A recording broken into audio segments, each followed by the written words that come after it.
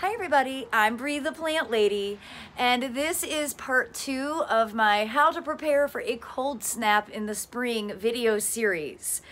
Um, in my first video, I talk about all the sort of general things, and in this video, we are gonna tackle fruit trees, very specifically what to do with blueberries when they're blooming and you have a sudden drop in the temperatures. So what about fruit trees? Well, of course, they're all in bloom. Here behind me are um, some blueberry varieties and I have peaches in flower and uh, yeah, this might be a case where it would be worth tossing some, some Reemay over these to help protect the flower buds. Um, in my world, I'm probably not gonna do that. I'm gonna take the chance that I think 25 degrees isn't actually gonna make these flowers burn off but I'm definitely running the risk. It's entirely possible that this cold snap could result in not great blueberry year, which happens with some frequency. Um, you know, some commercial growers lose their entire crops because of, you know, spring frosts and hard freezes. So all day long I've been thinking about my blueberries because really that's the only plant that I really care about. I want to have blueberries to harvest and I have like 28 varieties of blueberries. So in theory, there are some that aren't in flower. You can see this one, which is a variety from Florida and it has low chill hours. I talk about chill hours because I want you to not make the same mistakes that I have made.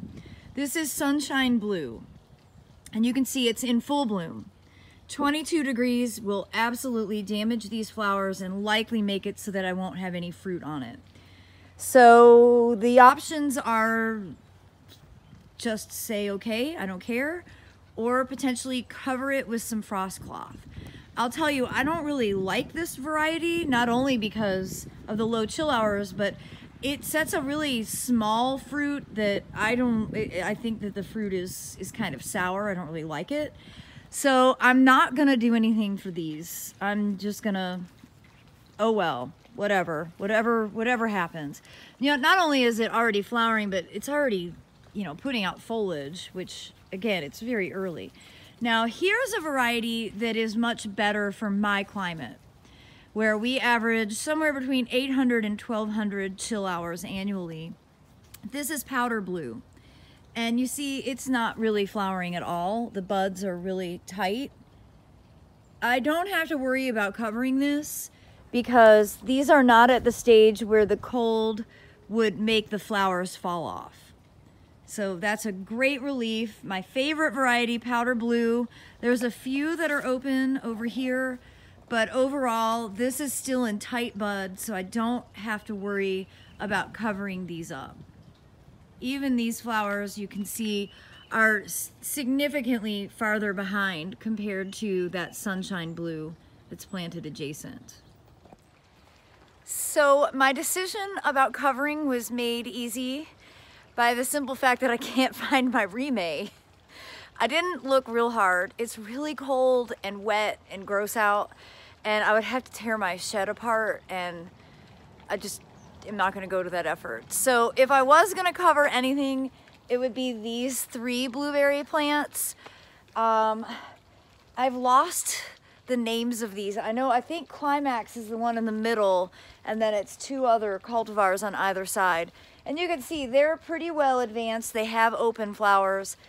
It's possible that these will get burnt and I won't get fruit set here, but overall, I, I think it's a, I guess I'm just gonna have to live with my decision.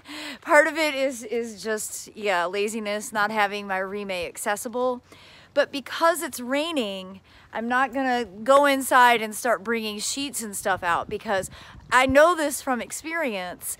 When you do that and you have moisture, precipitation, um, it actually will cause more damage than good.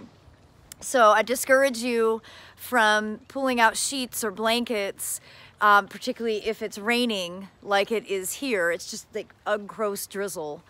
Um, that, that actually isn't going to be as helpful as you think it might be. Well, I hope you found this video to be helpful. The lesson here really is all about having good cultivar selection for the region that you live in to match your chill hours. That way you know that you won't risk losing all of those flowers and therefore your, your summer harvest. Well, if you found this video to be helpful, please give me a thumbs up. Be sure to subscribe for more practical gardening information.